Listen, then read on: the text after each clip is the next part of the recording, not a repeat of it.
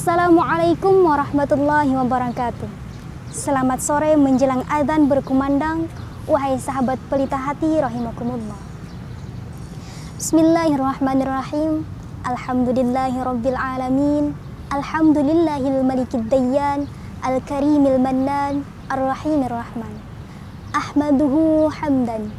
Ashhadu an la ilaha illallah wa ashhadu anna Muhammadan abduhu wa rasuluh wa safiyuhu wa khaliluhu wa huwa khairul bashar wa huwa khairul anam wa huwa imamu kulli imamin wa huwa sahibul haudil kautsar amma ba.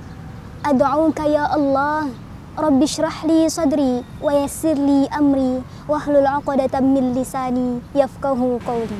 Amma ba. Sekarang ini kita tengah berada pada hari-hari di mana kita diharuskan untuk imsak yakni menahan diri dari hal-hal yang membatalkan ibadah mulia kita, puasa. Imsak di sini bukan hanya sekedar menahan makan dan minum saja, tetapi kita juga diharuskan menahan perbuatan-perbuatan hati dan pikiran kita dari segala hal yang mengundang murka Allah Subhanahu wa taala. Bulan Ramadan adalah ajang kita untuk fastabikul khairat, amilus salihat, mengerjakan berlomba-lomba beramal salih. Hadirin, sahabat pelita hati rahimakumullah. Dalam suasana sore yang mendamaikan ini, Ananda ingin berbagi beberapa kebaikan yang semoga dengan aktivitas ini kita semua mendapatkan karunia tak kasat mata dari Allah Subhanahu wa taala. Dalam hadis dijelaskan, arba'atun man a'tahunna faqad utiya khairad dunya wal akhirah. Ada empat perkara yang apabila kita amalkan, yang apabila kita biasakan, yang apabila kita budayakan dalam keseharian kita, maka kita akan diberikan kebahagiaan dunia dan akhirat. Apa saja?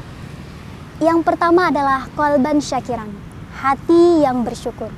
Dilihat dari kata syukur, merupakan aktivitas yang, yang sangat simpel, tetapi sangat sulit untuk kita aplikasikan dalam kehidupan sehari-hari. Kalau kita lihat syukur menurut artinya, syukur adalah menggunakan sesuatu yang kita punya sesuai dengan fungsinya masing-masing dan agar kita mendapatkan keberkahan serta keridhaan dari Allah Subhanahu wa taala. Bagaimana kita bisa mencontohkan kata syukur? Syukur itu dari hati kemudian keluar dari lisan dan kita aplikasikan dengan perbuatan. Bil qalbi wal lisan wal af'al. Contohnya, ketika kita memiliki satu buah motor, bagaimana cara kita mensyukurinya? Di bulan Ramadan ini kita diharuskan untuk fastabikul khairat. Maka motor yang kita miliki tadi kita gunakan sebaik mungkin menghadiri majelis ta'lim, menghadiri ibadah-ibadah, ke masjid dan sebagainya. Itulah bukti syukur kita kepada Allah Subhanahu wa taala, yakni dengan mengaplikasikan apa yang kita punya dengan sebaik-baiknya guna memperoleh keridhaan dari Allah Subhanahu wa taala. Yang kedua adalah walisanan zakiran lisan yang selalu basah dengan ucapan-ucapan yang baik. Misalnya, kita aplikasikan secara sederhana saja. Lisanan zakiran, ketika melihat pemandangan-pemandangan yang indah layaknya di taman ini, ucapkanlah subhanallah. Ketika kita berjanji misalnya, ucapkanlah insya Allah. Ketika kita ingin memulai sesuatu, lepaskanlah basmalah. Atau ketika kita menyaksikan sesuatu yang sangat menakjubkan, ucapkanlah masya Allah dan sebagainya. Itu saja apabila kita budayakan, apabila kita biasakan dalam kehidupan sehari-hari, sudah sangat mendukung kebahagiaan kita di dunia dan di akhirat. Dan yang ketiga adalah wabadanan alal bala isabiran. Ketika kita mendapatkan musibah, maka kita bersabar. Innallaha ma'as sabirin. Allah menjanjikan bahwa Allah akan bersama orang-orang yang sabar. Namun kita harus ketahui bahwa sabar di sini bala yang dimaksudkan Allah Subhanahu wa taala di sini bukan hanya ketika kita mendapat musibah, kebanjiran, kebakaran, kecurian dan sebagainya, tetapi juga kebahagiaan, kecerdasan dan segala prestasi kebahagiaan yang kita peroleh itu pun juga merupakan cobaan yang diberikan Allah Subhanahu wa taala.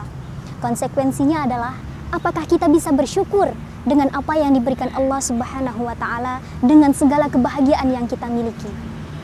Dan di sini perlu kita ketahui bahwa Ketika kita mendapat cobaan, kebakaran, kebanjiran, dan sebagainya, dibanding dengan kita mendapatkan kebahagiaan, sangat sedikit potensi kita untuk bersyukur ketika kita mendapatkan kebahagiaan. Inilah yang Allah maksudkan ketika kita diharuskan untuk bersabar ketika kita mendapatkan musibah. Kemudian yang keempat adalah zaujatan salihatan, istri yang soleh. Wahai para sahabat pelita hati rahimakumullah, sahabat remaja di mana saja berada kita adalah calon istri yang soleha. Maka persiapkanlah diri kita untuk menjadi istri yang benar-benar dianggap soleha oleh suami, keluarga, dan Allah Subhanahu wa Ta'ala.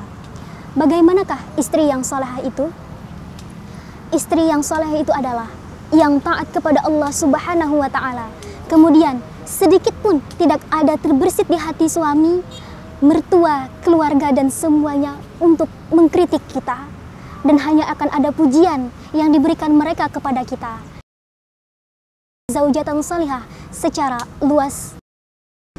Demikian perkara yang dapat Ananda sampaikan. Semoga kita semua sama-sama dapat mengamalkan dalam kehidupan sehari-hari dan mendapatkan keridaan dari Allah Subhanahu wa taala serta keberkahan yang membuat kita bahagia di dunia dan akhirat. Akhir kata, selamat menunggu azan berkumandang. Wallahul muwaffiq ila aqwamit thariq. Assalamualaikum warahmatullahi wabarakatuh.